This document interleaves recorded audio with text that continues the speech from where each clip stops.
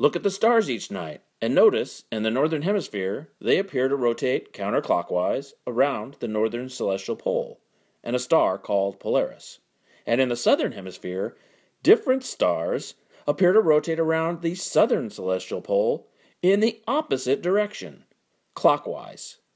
This alone proves the Earth spins.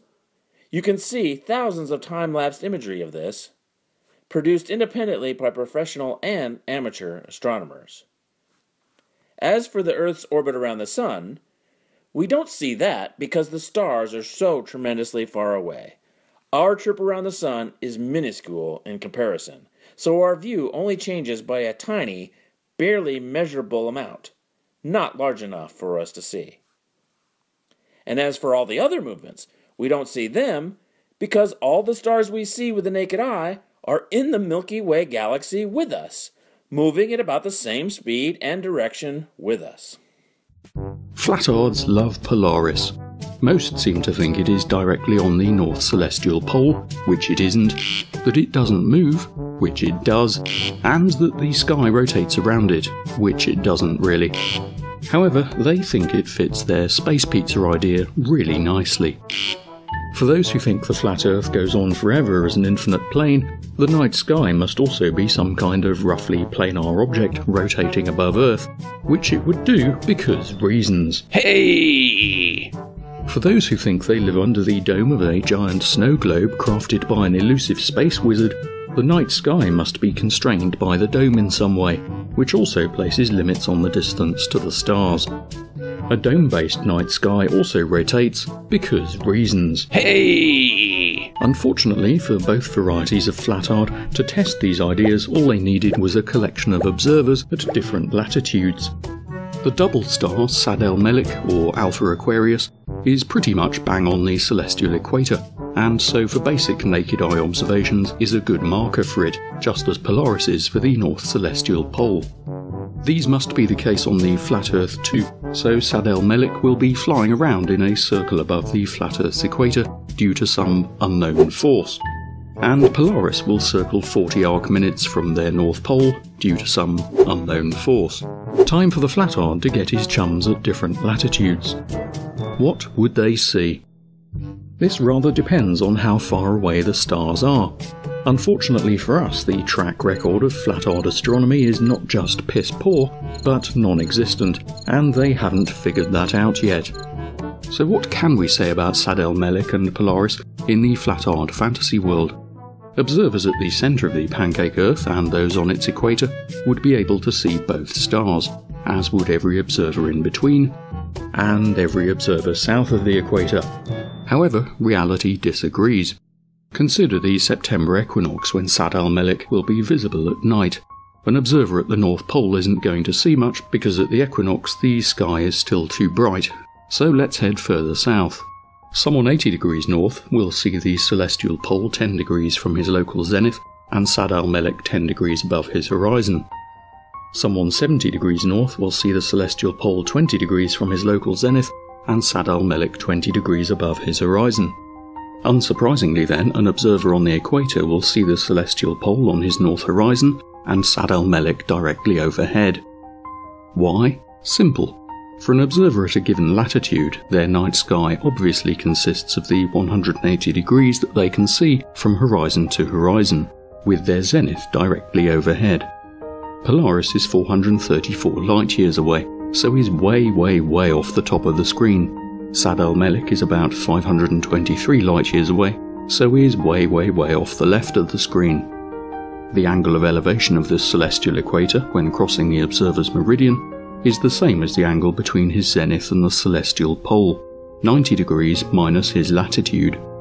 It's all exactly what you'd expect from observers sitting on a spheroidal planet rather than a giant disk made by an invisible cosmic mage. What does this pattern of observations look like on the flat-earth disk world? Well, we know that Sad al Melik is overhead at the equator, and that Polaris is overhead at the North Pole. So far, so good. But we also know that wherever you observe from in reality, that they have an angular separation of 90 degrees. Let's put an observer every 10 degrees of latitude and add in their lines of sight to Polaris and Sad al Melik. Where the lines of sight intersect the vertical lines of equatorial and polar observers should provide a triangulation of the height of these stars.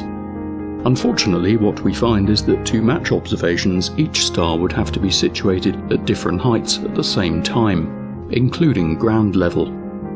This not only sheds some light onto why flat earth astronomy has neither explained nor achieved anything ever but also presents an unresolvable paradox that leads us inexorably to the conclusion that the notion of Earth being flat is not only geometrically impossible, but also complete bollocks.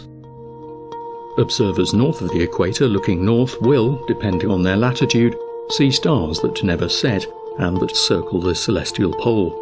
Determining how much of the sky is circumpolar is easy, it's given by your latitude.